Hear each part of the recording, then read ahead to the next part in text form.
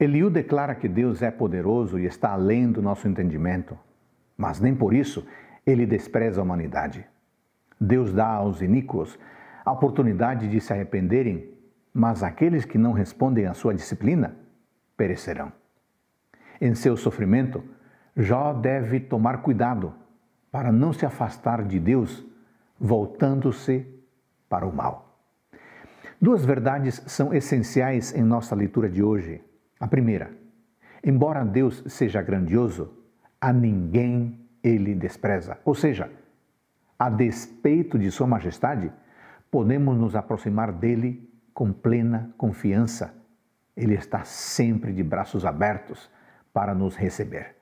Número dois, não permitamos que a ira causada pelo sofrimento nos leve a apontar o dedo contra Deus em sinal de condenação e de afronta.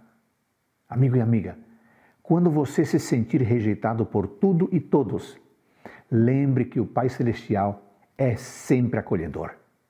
E quando estiver passando por momentos desafiadores, não culpe Deus por isso. O Todo-Poderoso é amor e o que mais Ele quer é o nosso bem, a nossa felicidade. Um ótimo dia para você e para sua família.